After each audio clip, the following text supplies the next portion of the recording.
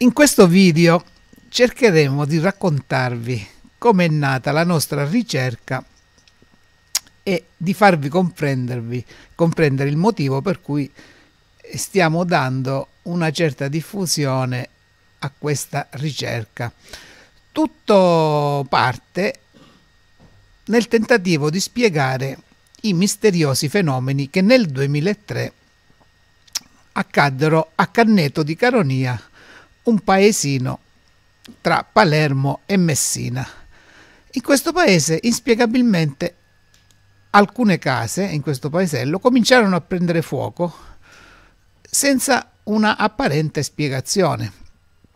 Intervennero, intervennero i pompieri e gli incendi continuarono a, a, ad avvenire in modo spontaneo, eh, si incendiavano soprattutto gli impianti elettrici e tutti diciamo, gli oggetti che avevano dei fili metallici, quindi vennero staccate tutte le connessioni elettriche eh, del paese e furono eh, diciamo, invocati i tecnici dell'ARPA che eh, rilevarono che nei dintorni di questo paese eh, molte piante avevano subito delle bruciature molto strane.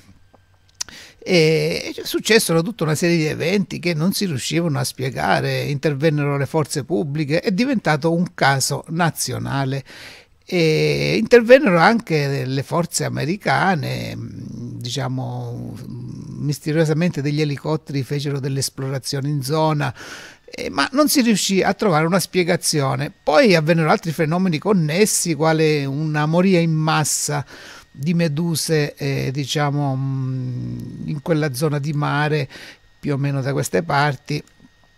E ci fu uno spiaggiamento in massa eh, di meduse e, e, altri fenomeni, diciamo che eh, alla fine di questo video mh, mm, apparirà un'icona eh, in cui, che, cliccando la quale potrete visualizzare un, uh, un, filmato che dà un ampio rapporto di tutti gli eventi che successero in quel, in quel periodo. Ecco, diciamo che si aprirono due ipotesi, o l'ipotesi aliena o l'ipotesi di armi non conosciute diciamo in possesso degli americani che emanavano delle forti onde elettromagnetiche. Si parla della potenza di 3 gigawatt.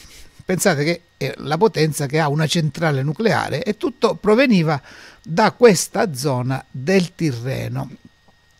Diciamo dopo un certo periodo che eh, non si riuscivano a trovare mh, delle spiegazioni e diciamo che il tutto fu insabbiato perché furono minacciati tutti quelli che davano mm, eh, diciamo pubblicità a questi eventi. Alla fine è stato sospettato il comitato il presidente del comitato vittime un certo Nino Pizzino che attualmente risulta eh, indagato per questa cosa. Ecco noi diciamo che questa spiegazione ci sembra assolutamente ridicola e se vedete il video che vi abbiamo diciamo mh, mm, agganciato uh, in un'icona alla fine di, di questa um, presentazione vi renderete conto che non è questa una spiegazione. Ecco eh, diciamo che eh, noi, da questa è partita una ricerca che è durata molto tempo e ha portato a dei risultati veramente incredibili che ci hanno portato a, diciamo, a smuovere un po' le acque. E siamo arrivati alle conclusioni che questo diciamo, segnale radio fosse una sorta di radiofaro che guidava un'invasione aliena. Ecco, adesso sicuramente si apriranno una serie di ilarità o di diciamo di commenti diciamo per ridere. E sì, diciamo si tratterebbe di una sorta di radiofaro che dovrebbe guidare dei astroliavi alieni eh, verso una zona dove avrebbero un deposito di diciamo armi che sarebbe una zona che è situata più o meno nell'Iraq.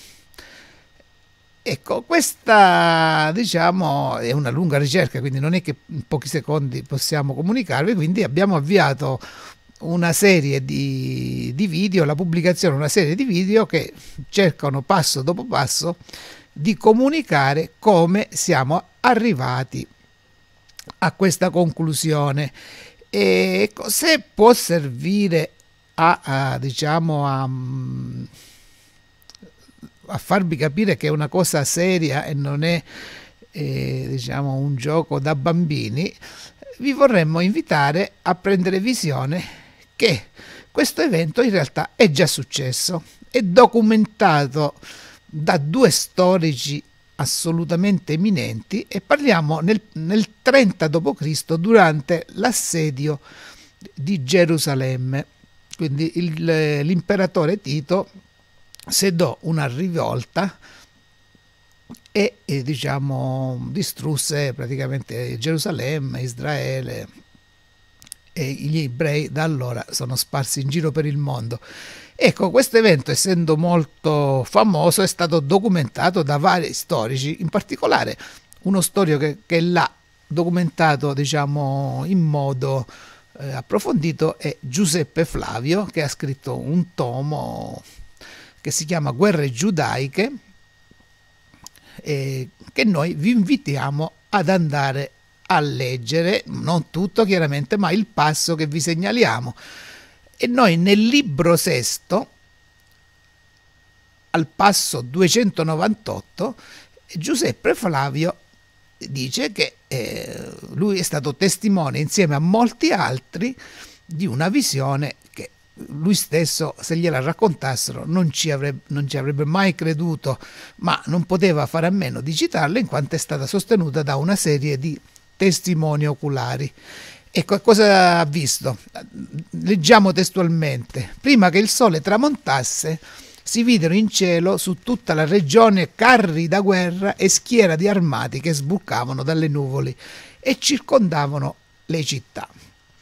Se questo non bastasse, abbiamo a conferma lo storico Tacito, che nel suo volume Storie, libro quinto, eh, capitolo 13, eh, parlando del, proprio esattamente di questo periodo, di questo episodio, conferma la testimonianza raccontando che si videro in cielo scontri di eserciti e sfolgorio di armi e per improvviso ardere di nuvoli. Quindi parlano chiaramente di eserciti, di armi, di carri da guerra che scorazzavano nel cielo. Questi sono due storici assolutamente eh, accettati eh, dalla, da, dalla, storia, ecco, quindi non sono eh, né libri di religione né libri diciamo di fantasy. Voi vi chiederete, ma noi com'è che non sappiamo queste cose e nessuno ci ha insegnato a scuola queste cose? Ecco, questa non è una risposta che tocca a noi darvi. Noi vi possiamo solo dire di andare a leggere questi due passi Giuseppe Flavio, Guerre giudaiche, libro sesto, 298 e Tacito, Storie, libro quinto, capitolo 13 e vedrete che si parla di un'invasione aliena su Gerusalemme che si trova eh, qui, quindi a breve distanza dal luogo che diciamo punterebbero questi mezzi spaziali che sarebbero guidati dal, da questo radiofaro che si trova qua, quindi avrebbero fatto delle prove generali in previsione di un'ennesima invasione che a quanto pare avviene periodicamente. Quindi vi invitiamo a eh, prendere visione di tutta la catena di video che diciamo sono eh, raccolti in una playlist che si chiama La fine del mondo spiegata scientificamente. Quindi se cliccate sull'icona quadrata che vi appare con questo titolo vedrete tutti i video spiegano come siamo arrivati a questa conclusione. Eh, non, i, video ancora non sono tutti pubblicati, sarà una pubblicazione che in continua evoluzione che potrete seguire. Se invece volete vedere il servizio che ha fatto una rete diciamo televisiva su questi fenomeni di canneto per rendervi conto che sono delle cose abbastanza inquietanti potrete eh, cliccare sulla seconda icona che eh, diciamo vi aggancerà a questo filmato specifico